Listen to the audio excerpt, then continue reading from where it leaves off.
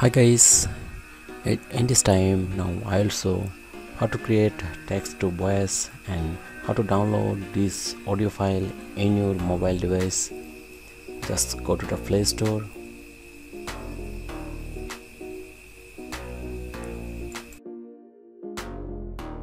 Just find out the text to voice apps. Just click on t2s then search and this apps is nicely work on text to voice converter. And you have to download this audio file with your device. Just install and open. And at this time you have to write something here.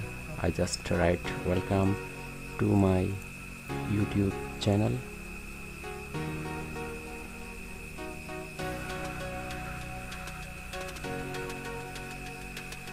and then now play button. Click on the play button. Welcome to my YouTube channel. if you download this audio voice in your device just go to the dot icon and export as audio file. Then select mp3 and you have to need install a plugin apps with this t2s just click here then t2s plugin mp3 encoder just install. Just wait a few seconds to install.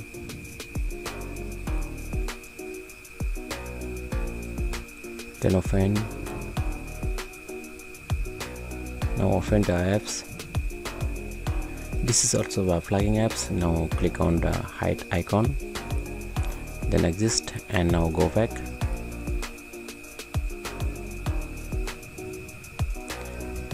then finally you have to save your audio with same process. Just click on the dot icon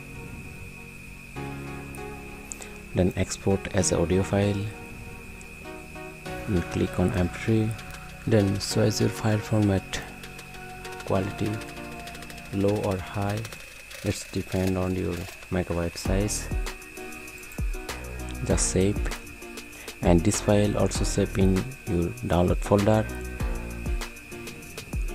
now rename the audio file.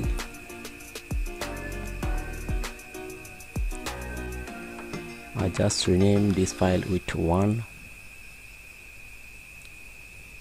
Then save yes it's successfully saved then you have to go home button to find out the audio file.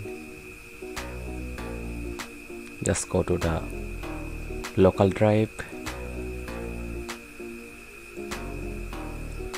then find out the download folder. Now you can see is your audio file. Welcome to my YouTube channel.